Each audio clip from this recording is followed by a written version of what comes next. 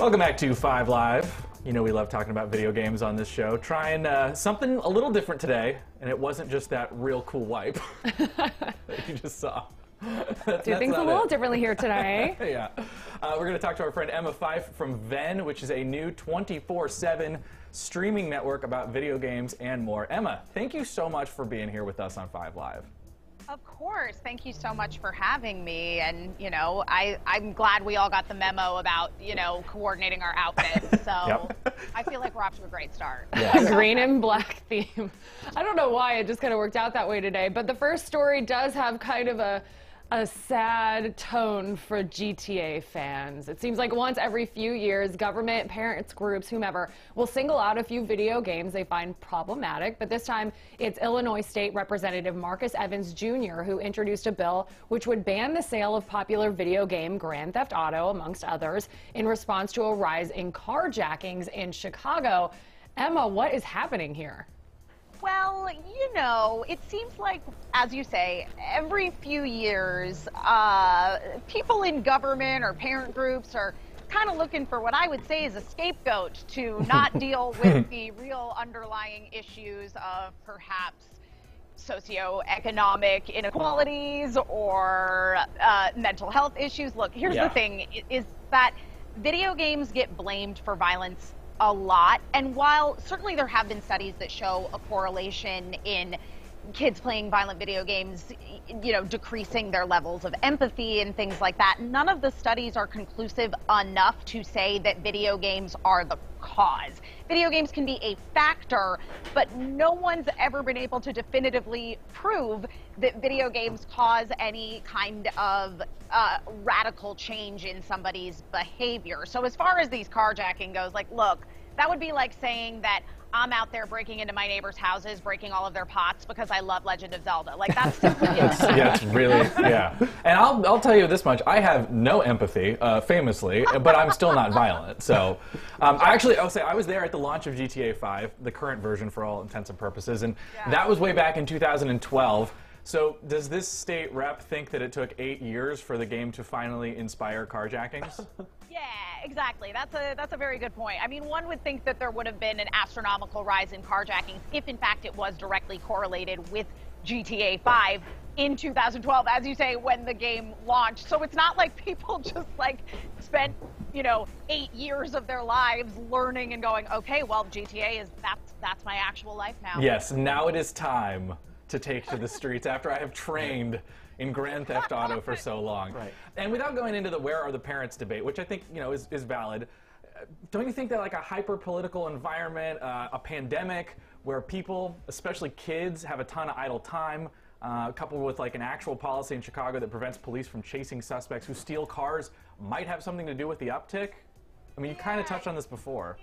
Exactly. So again, it, it's the whole idea of, of video games are being used as they so often are as an excuse. It feels like for people in Chicago to not take a look at what's going on in their city and go, okay, what's really causing this? As you say, you know, we're in a pandemic a lot of people are without jobs. There's all kinds of economic crisis going on. And so I think that quite frankly, again, they're looking for an easy out and there right. not an easy right. solution to this. Like, like you mentioned, Emma, it, it's, it's really easy to look for a scapegoat. And it, this seems to like happen all the time. You go straight to what the kids are into. I mean, it's yes. either books or rock and roll music. It was Pogs. comic books back in the day. Pogs were yeah, Pogs. crazy. yeah. um, and in this day and age, it just seems to be video games.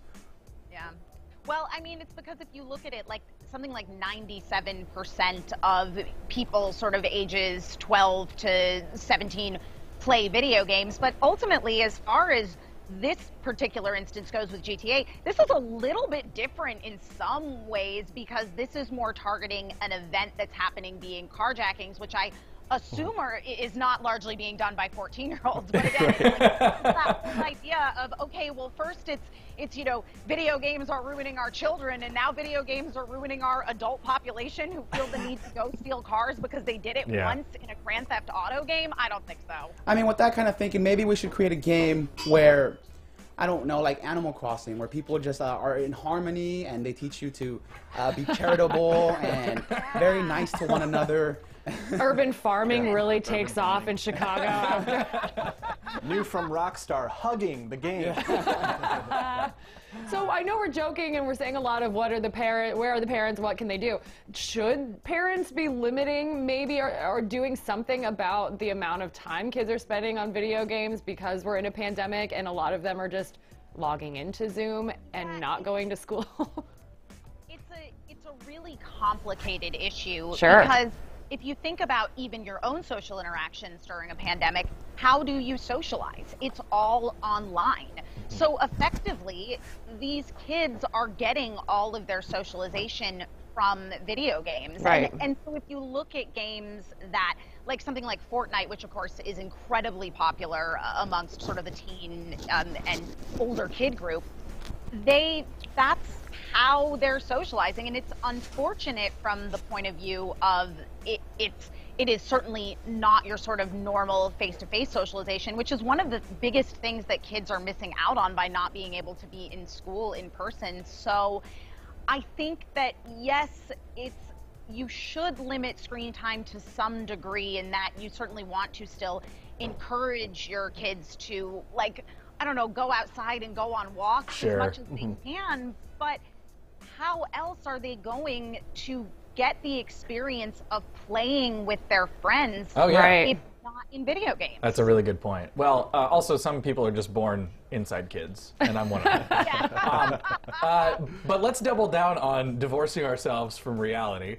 The future is here with new virtual reality headset upgrades uh, on the way from PlayStation. It's easier and cheaper than ever to live out futuristic fantasies with space age tech. Uh, CEO of Sony Interactive Entertainment, Jim Ryan, recently revealed the company's VR plans for a new VR headset for the PS5.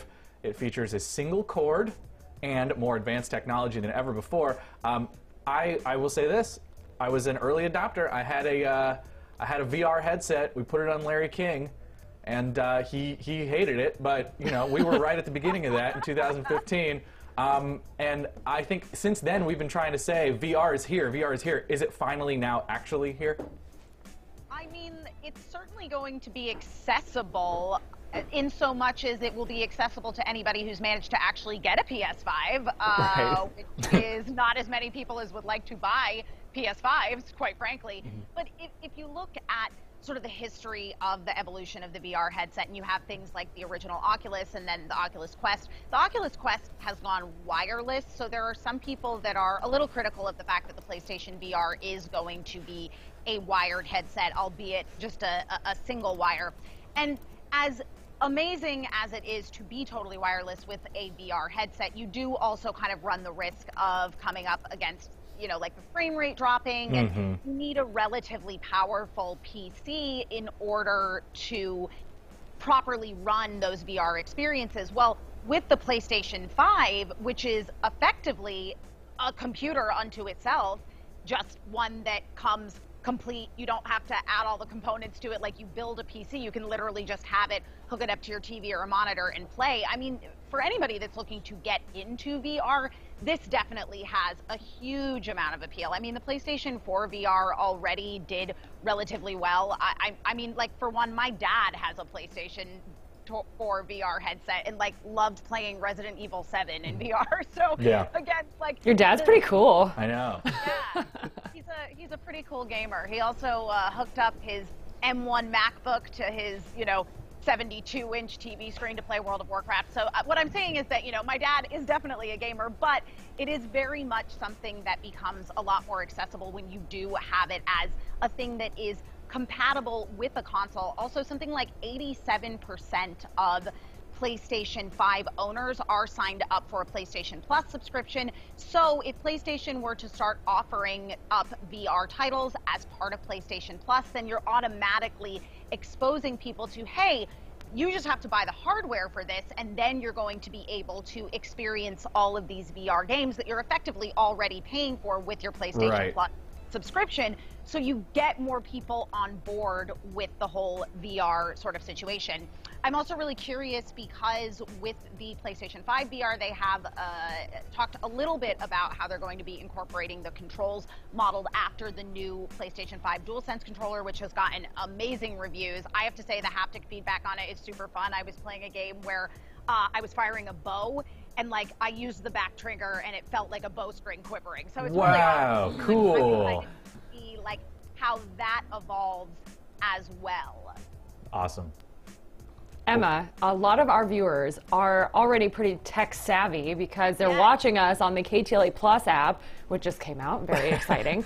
Um, Nice. but if people want to watch you, see more of you, watch more Venn, where should they go?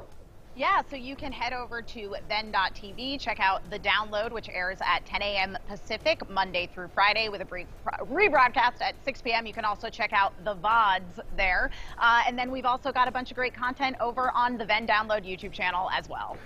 Emma, thank you so much. We'll see you next week, I hope. Yeah. As we continue this, uh, this wonderful partnership. Yeah, thanks for having me. All right. Thanks, Emma. We'll be right back with more Five Live right after this. I want to get uh, completely my whole life in view.